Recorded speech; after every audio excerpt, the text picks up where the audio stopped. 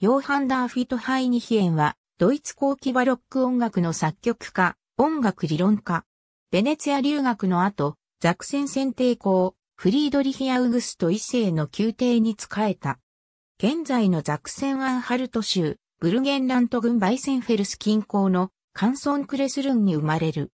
父、ミハエル・ハイニヒエンは、ライプツィヒの聖トーマス教会付属の著名なトーマス学校に学んだ後、ペガウにおいて、カントルをクレスルン村の教会において、牧師を務めた。ハイニヒエンも、父と同じく、ライプツヒのトーマス学校に通い、音楽をヨーハン・シェレに、チェンバロをヨハン・クーナウに学ぶ。この頃、クリストフ・グラウプナーも、クーナウの門人であった。1702年に、ライプツヒ大学で法学を学び、1705年か1706年に弁護士資格を取得している。邦楽は18世紀初頭のドイツの作曲家の卵に人気のあった学問分野でクーナウ、グラウプナー、テレマンなども弁護士資格を取得している。ハイニヒエンは1709年までバイセンフェルスの放送会で活動した。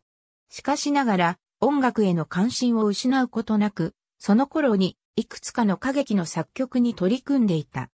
1710年に通奏低音に関する主要な論文の初版を刊行。その後イタリアに留学し、ほとんどベネツィアにおいて7年間の研修期間を過ごす。1717年にアンハルト系転校、レオポルトの宮廷において J.S. バッハの同僚となり、それからザクセン選定校の宮廷学長に転身した。門人にヨハン・ゲオルク・ピゼンデルがいる。ハイニヒエンの作品は近年になって名声が再浮上し、現在いくつかのミサ曲や絶筆のマニフィカトが録音会において注目されるようになった。グスタフ・アドルフ・ザイベルによる整理番号が使われることが多いが、完全なものではないため、近年ギュンター・ハウスバルトによる整理番号も行われている。